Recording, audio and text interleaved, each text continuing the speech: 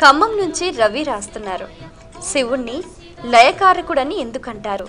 తెలియచేయగలరు అంటూ రాస్తున్నారు. సృష్టి అంటే పుట్టడం. ఏది పుడుతుందో అది తప్పకుండా నశించాల్సిందే.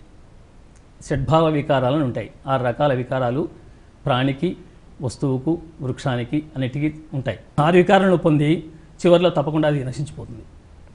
ఇలా షడ్భావ వికారాలు కలిగేటువంటి వాటిలో సృష్టి కూడా ఒకటి. ఈరోజు జరిగిన సృష్టి తర్వాత నశించిపోవాల్సిందే. అందుకే ఈ సృష్టి కార్యక్రమం అంతా నిర్వహించడానికి పరమాత్మ మూడు రూపాయలుగా వచ్చాడు. వాటిని త్రిమూర్తులు అంటున్నాం మనం. ఆ త్రిమూర్తుల్లో మొట్టమొదట సృష్టి చేసే ఆయన ఉంటాడు బ్రహ్మగారు.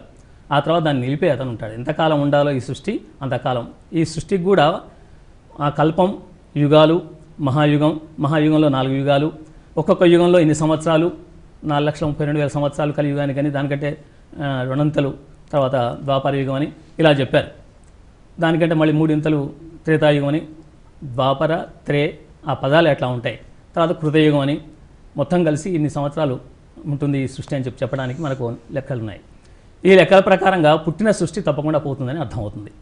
ఈయన లయకారకుడు ముగ్గురులో మూడు గుణాలు చెప్తారు ప్రధానంగా. మూడు గుణాలు ఏముంటాయి అంటే మనం మిగతా గుణాలు లేకుండా మిగతా పనులు జరగవు. సృష్టికర్త బ్రహ్మగారిలో రజోగుణం ఉంటుంది. రజోగుణం లేకుండా సృష్టి చేయడం సాధ్యం కాదు. అలాగే స్థితికారకుడు చాలా కాలం నిలిపేవాడు ఆ విష్ణుమూర్తి ఆయనలో సత్వగుణం ఉంటుంది. లయం చేసేవాళ్ళు తప్పకుండా తమోగుణం ఉండాల్సిందే. అందుకే శివుణ్ణి తమోగుణ ప్రధానుడు అంటారు. సృష్టి లయం కావాలంటే శివుని యొక్క తత్వం పనిచేయాల్సిందే. పనిచేస్తేనే అక్కడ లయం అవుతుంది. కొంతకాలం ఉన్న తర్వాత నాలుగు చక్రాలు తిరిగిన తర్వాత మళ్ళీ సృష్టి ప్రారంభం కావాలి. ఈ చక్రం కాలచక్రం అని తిరుగుతూ ఉంటుంది.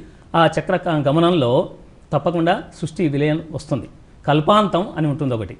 ఆ కల్పాంతంలో సృష్టి నాశనమయ్యే సమయం వచ్చినప్పుడు నాలుగు వందల సంవత్సరాలు వరుసగా వంద సంవత్సరాలు మొత్తం కరువు వచ్చేస్తుంది బ్రహ్మాండంగా. ఇంకో రెండో వందల సంవత్సరంలో దాదాపుగా ఉన్నటువంటి ఆ చెట్లు చేమలు పంటలు అన్నీ నాశనం అయిపోతాయి. ఎక్కడ ఏం తినడానికి కూడా తిండి దొరకదు. మూడో దాంట్లో మొత్తం బూడిదైపోయి కాలిపోయి ఉంటుంది. ఆ బూడిదయ్యే సమయంలో ఈ లోకంలో ఉన్నటువంటి అగ్నికి తోడుగా శివనేత్ర అగ్ని సహకరిస్తుంది. అలా సహకరించడం వల్ల మొత్తం బూడిదమయం అయిపోతుంది అంతా బూడిద అయిపోయిన తర్వాత ఆ తర్వాత మళ్ళీ జలమయం కావాల్సి ఉంటుంది ఇంకో వంద సంవత్సరాలు. ఏనుగు తొండం లాంటి ధారలు లాంటి ఏనుగు తొండం అంత ధారలు బ్రహ్మాండంగా వర్షం కురిసి మొత్తం జలమైపోయి ఏ కారణం అవుతుంది ఆ ఏ కారణవం అయిన తర్వాత అంటే ఒకే సముద్రంగా మారిపోయిన తర్వాత దానిలో మళ్ళీ విష్ణుమూర్తి వస్తాడు. అప్పుడు మళ్ళీ సృష్టి ప్రారంభానికి హేతు అవుతుంది కాబట్టి సృష్టి ఇలా పోవడానికి ఆయన అగ్నినేత్రం ప్రధానమైంది. ఆయన త్రిమూ త్రినేత్రుడు అని చెప్పుకున్నాం ఇంతకుముందు. ఆ ముక్కంటి మూడో కన్ను చేత ఆయన లయానికి తోడ్పడతాడు. అందుకే ఆయన లయకారకుడు అంటారు.